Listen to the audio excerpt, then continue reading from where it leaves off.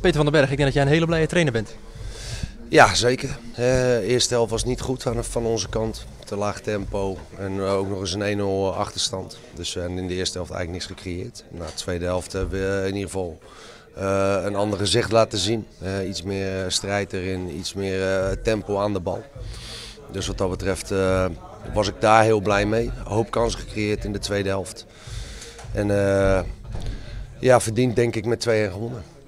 Wat heb jij in de rust tegen jouw spelers gezegd? Hè? Dat was de eerste helft ja, de sterkere partij. De tweede helft waren jullie de bovenliggende partij. Wat is er in de rust gezegd dat er anders moest gaan?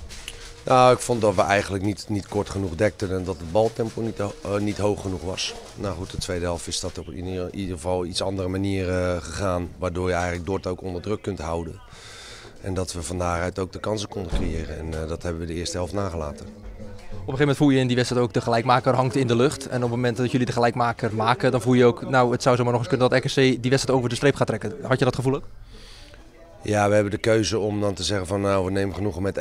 Aan de andere kant had ik wel het gevoel dat, uh, dat Dort op de laatste benen liep. En dat we in ieder geval vanuit, uh, vanuit de flow waarin we op dat moment zaten, dat we in ieder geval uh, konden proberen om die tweede nog te maken. Nou goed, dus je, je, je, je stapt ook gewoon volledig door zoals we daar voor de gelijkmaken mee aan de slag zijn gegaan. En uiteindelijk ja, wordt het, wordt het nou, niet, niet zozeer het risico, maar wel de, de, de manier van strijden wordt wel beloond door, doordat je hem dan toch nog over de streep trekt.